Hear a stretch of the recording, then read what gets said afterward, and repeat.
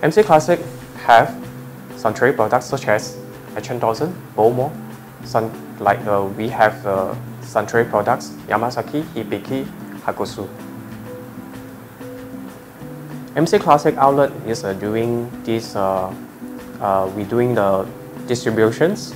We also at the same time we also recommendation some wines to the customers. MC Classic outlet have three branches. We often to use IRS software such as uh, stock transfer because this is very useful when you have multiple outlets.